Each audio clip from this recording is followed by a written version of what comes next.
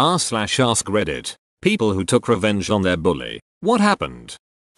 I hate the term bully in this context, but a former man-child neighbor had issues understanding that it wasn't okay to throw his garbage in my yard, or let his drunk friends piss on my house. When the county cops didn't do anything about numerous calls, I started bagging the garbage and throwing it on his porch. He escalated to putting rat poison in hot dogs and throwing them to my German Shepherd mix. I saw her convulsing and found three packages worth of hot dogs studded with pellets right along the fence. She pulled through. No worse for wear. Cops said I couldn't prove who did it, so the next time he threw garbage in my yard, which usually contained the guts waste from his hunting and fishing, I gathered fish guts into a bag, waited until he left, and put them in the rafters of his porch, under the hedges in his yard, and finally inside his air conditioner unit. About 3 days later he had all the doors and windows open. The following week he was having the carpet replaced throughout the house. Eventually the guts rotted away and the smell faded. But I think he knew I did it, because I never found trash in my yard again. Do not duck with my dogs. I grew up in a small town. We had one girl everyone thought was the prettiest girl in the whole wide school. She was a mean, petty beach. Truly awful. For example, my cat died when I was in 5th grade. She sat behind me muttering about how funny it was that my cat died, that he was a stupid cat, that he died because my mom was too poor to take him to the vet, and urging me to cry. Are you gonna cry? Are you gonna cry about it? Like a big baby? Big baby cry over your stupid cat? Everyone's gonna see you cry. You're about to cry aren't you? Semicolon and so on. This wasn't even the meanest thing she did, and she was mean to everyone. One day in 6th grade, I'd had enough. She didn't even do anything truly awful I was just like Duck Jennifer G and decided to do something about her. I stole one of my mom's little index recipe cards and meticulously wrote I stuff my bra in big bold letters. I stuffed that and a little gold safety pin in my jacket pocket. The next day I carefully affixed this to the back of her pink members only jacket just before first bell rang. She walked around with this damn note on all day, confused as to why people were laughing at her. She screamed and screamed when she found it, and she cried. Everyone saw her cry.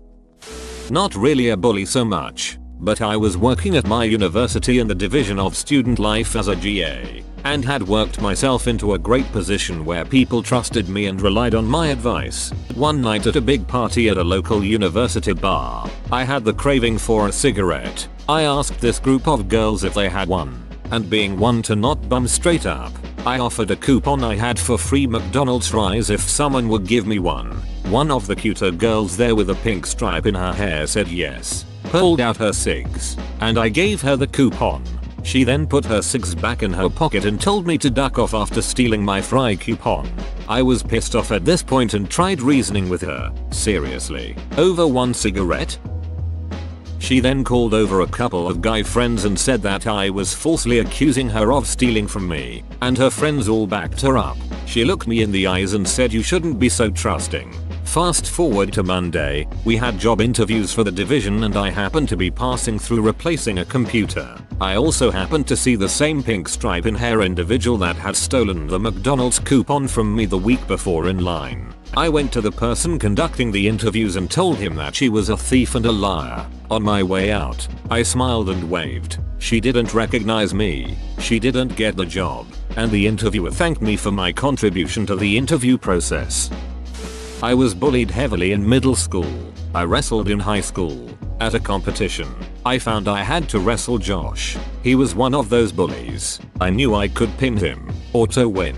Told my coach about him, and my goal wasn't to pin him, but to hurt him as long as possible. Wrestling match starts. I do every move I can think of that hurts. Didn't try to get him on his back. Just kept trying to unjacking up his arms, shoulders. Took a couple shots and checked his crotch with my shoulder since he wasn't wearing a cup. I did the full 6 minutes and won 12-1 on points. He cried. Entire team went ballistic. Coach had told them he used to bully me and they were cheering me on so hard. Felt like the ducking king of the world. I walked off to my team. He limped off to the athletic trainer. Too long didn't read I wrestled my bully till he cried.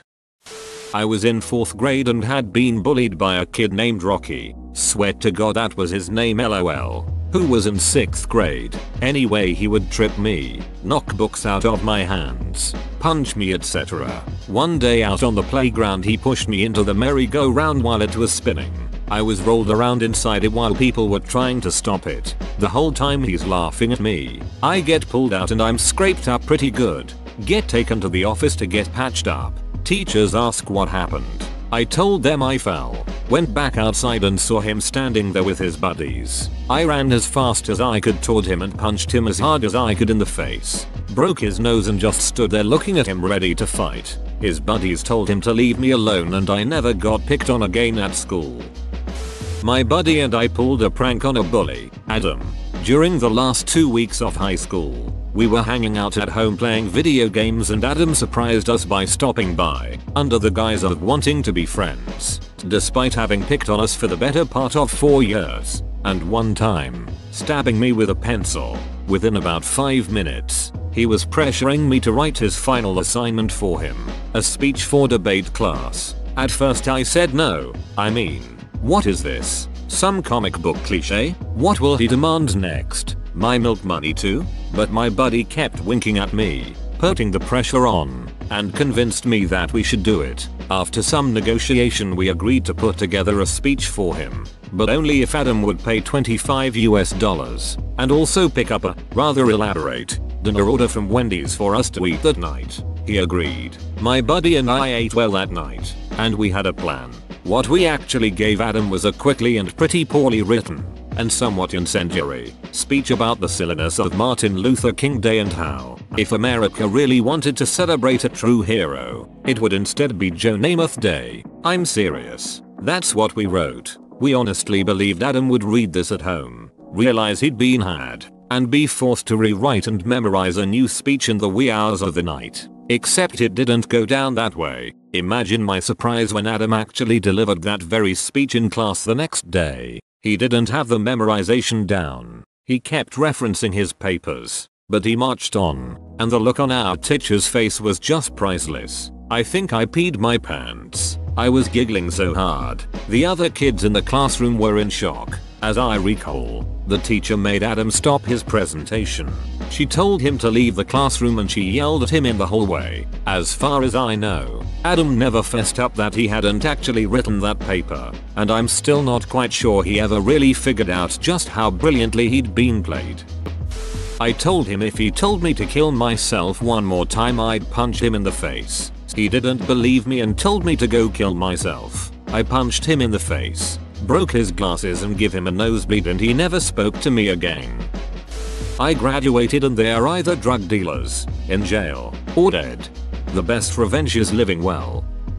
In my secondary school, when you were about to leave, you'd wear your school uniform shirt on the last day and people would sign it for you. There was also an option to wear your own clothes for the last few days. So this guy who was leaving came decked out in the best of 1980s sports fashion wielding a permanent marker and instead of signing the shirts of leavers he went around scribbling on the shirts of kids who were younger. Now bear in mind we were pretty poor, and if I came home with my uniform in a mess I'd get grief because we couldn't afford to replace it. He grabbed me and scribbled all over my shirt and somehow, using as yet unknown quicksilver powers, I grabbed the marker off him and managed to scribble not only all over his Sergio douchebag windbreaker, but all over his face and neck. He punched me in the tit. I'm a girl, but it was worth it.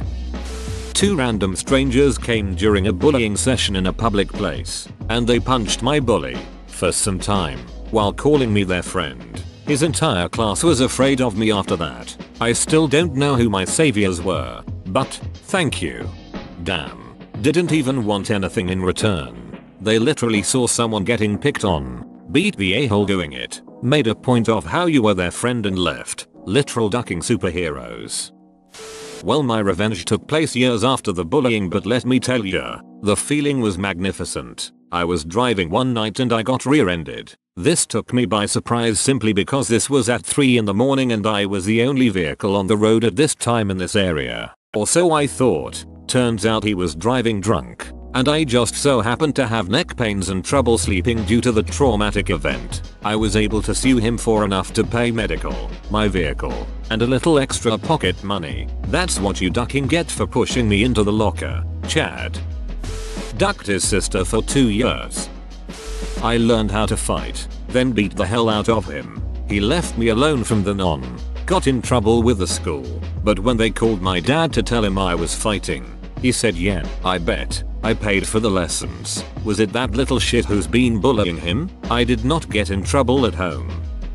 I had a friend who had a bully. He had a locker above my friend and would intentionally drop books on her head, push her around, insult her throughout the year, and we all had a class together where he was generally a dong to anyone that he could. Before class started and anyone else was in class yet, the teacher had to step out for a bit, and it was just us three in the room. My friend was and still is very tiny but that day, it didn't matter. She snapped and had enough of his shit and went on the attack. I don't think she could have done much damage on her own, but I stepped in. Puberty was swift for me and I was one of the largest kids in school. By 5th grade I was already the size of an adult woman. I pinned him to the wall and let my friend kick the shit out of him and punch him in the balls. He didn't speak to either of us after that and we never got into any trouble. I don't think he wanted to tell anyone that he got beat up by a couple of girls. Got bullied by this girl in high school for being fat. Lost 100 pounds after I graduated. I looked completely different. Even some family who didn't see me during the process didn't recognize me. I ran into this girl again 2 years after high school at Starbucks. She started a convo with me as we were stuck at the same table together in a busy Starbucks. We talked. A week later we boned. And then I added her on Facebook to show her who I was. She just banged the fat kid she grew up bullying. Not your traditional revenge. But hey, banging my old bully is worth something right? Haha. In junior high some little shit was always picking on me and one day I was really mad about something else going on at home so when he came up to me, I hit him in the face with the heel of my gym shoe. Broke his nose and a few teeth. Teacher gave me a lecture but no punishment. He didn't bother me again so it was worth it. Your teacher knew. Not me but a good friend of mine. Sophomores in high school. Eric kept a Gatorade in the side pocket of his book bag for lunch every day. Just before second period would start, Eric would put his bag down in class and go to the bathroom. When he would come back, his Gatorade was always empty. This went on for about 2 weeks and no one would ever tell him who it was. When finally one day he came back from the bathroom to another kid running out of the room retching and holding his pants. Apparently, Eric had had enough of his Gatorade being taken and had put a few drops, half a bottle of Visine and the Gatorade before he came to school. The kid had to be admitted to hospital a few days later for dehydration from so much throwing up diarrhea from the Visine. Eric finally knew who it was and no one